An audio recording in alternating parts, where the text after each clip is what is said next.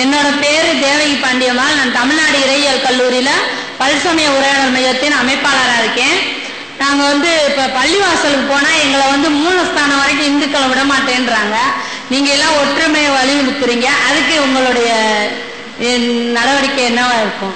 அதாவது அவங்க சொல்லக்கூடிய ஒரு குறைபாடை இங்க பதிவு செய்கிறாங்க பள்ளிவாசல் நீங்க வணங்குற பள்ளிவாசலை எடுத்துக்கொண்டால் முஸ்லிம்கள் மட்டும்தான் நீங்க போறீங்க.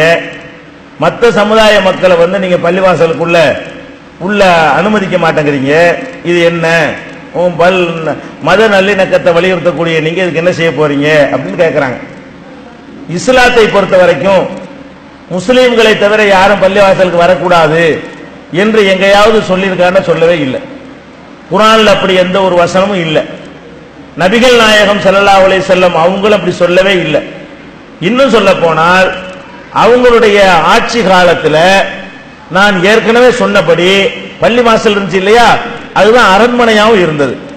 நபிகள் நாயகம் அவர்கள் எதை பள்ளிவாசல் என்ற கட்டினார்களோ அந்த குடிசை வேயப்பட்ட அந்த இடம்தான் அவங்களுடைய தலைமை செயலகமாகவும் இருந்தது. அவங்க ஜனாதிபதி. தலைமை செயலகம் அதுதான். அந்த தலைமை செயலகத்தில் பல நாட்டு தூதர்களும் வந்து நபிகள் நாயகத்தை சந்திப்பாங்க. பள்ளியில தான் பல நாட்டு தூதர்கள் என்பவர்கள் கண்டிப்பாக முஸ்லிம்களாக இருக்கவில்லை. முஸ்லிம் அல்லாத பல சிற்றரசர்கள் பெரிய அரசர்கள் எல்லாம் அந்த அரபு நாட்டை சுற்றி ஆட்சி புரிந்தார்கள். அந்த அரச பிரதிநிதிகள் நபிகள் நாயகத்தை பார்க்க வருவாங்க.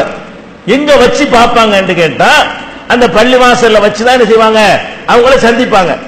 அப்ப பல இன்னும் சொல்ல போனால் நம்ம கட்டி இருக்கிற இந்த பள்ளிவாசல் இருக்க இதையெல்லாம் விட நபிகள் நாயகம் தங்களுடைய திருக்கரத்தால் கட்டிய பள்ளிவாசல் புனிதம் அதிகமானது. இப்ப நாங்கெல்லாம் கட்டுற பள்ளிவாசலை விட நபிகள் நாயகமே கட்டின பள்ளிவாசல் எப்படிப்பட்டது? சிறந்த பள்ளிவாசல்.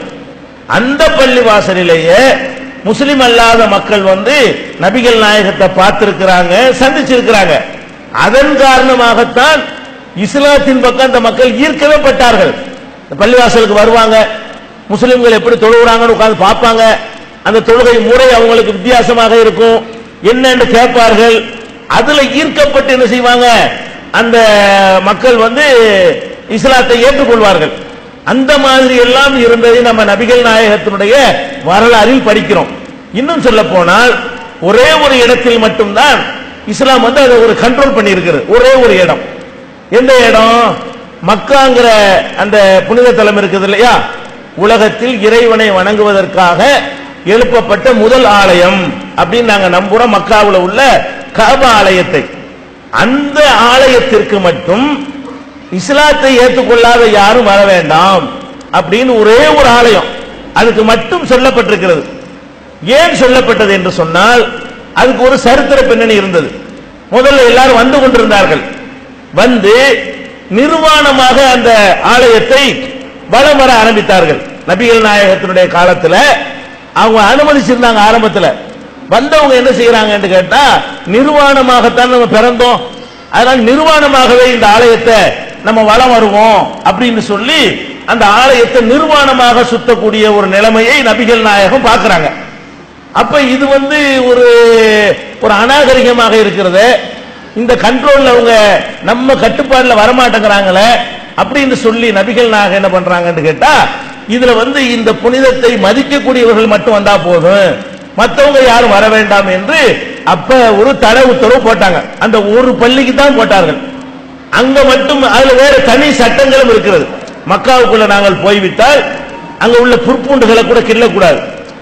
அந்த புற்பூண்டுகளை வந்து கிள்ளக்கூடாது குருவிகளை பறவைகளை வேட்டையாடக்கூடாது. அது மாதிரிலாம் நிறைய தனி ரூல்ஸ் இருக்கிறது. இதை யாரு கடைப்பிடிப்பா? அந்த இஸ்லாத்தை நம்பியவங்க தான் கடைப்பிடிப்பாங்க.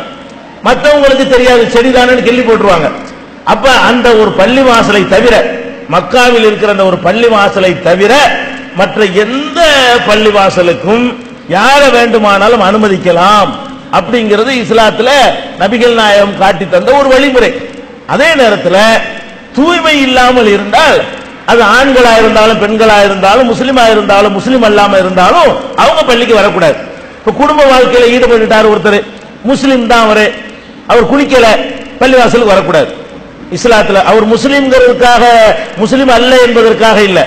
பள்ளிவாசல்ல வரக்கூடிய நேரத்தில் குளிப்பு குளிப்பது அவருக்கு கடமையாக இருக்குமே ஆனால் அந்த குளிப்பை நிறைவேற்றாமல் பள்ளிவாசலுக்கு வரக்கூடாது. அது மாதிரி ம- மாதவிடாய் நேரத்தில் முஸ்லீம் முஸ்லிம் பெண்களோ முஸ்லிம் அல்லாத பெண்களோ அவங்க அந்த பள்ளிவாசலுக்குள்ள முஸ்லிம் பெண்களும் வரக்கூடாது. அப்படின்னு சட்டம் இருக்கே தவிர முஸ்லீமும் அல்லாத யாரும் பள்ளிவாசலுக்கு வரக்கூடாது என்று எந்த சட்டமும் கிடையாது. நாங்கள் எங்களுடைய நிர்வாகத்தில் ஒரு அறுபதுக்கு மேற்பட்ட பள்ளிவாசல்கள் தமிழ்நாடு முழுதும் இருக்கின்றன. இதே மதுரையில் கூட உங்களுக்கு இரண்டு பள்ளிவாசல் எங்களுடைய நிர்வாகத்தில் இருக்கிறது. அந்த பள்ளிவாசலுக்கு நீங்கள் எங்களை தொடர்பு கொண்டீங்கன்னா உங்களை கடைசி வரைக்கும் அழைத்து கொண்டு போவார்கள். நாங்கள் தடுக்க மாட்டோம்.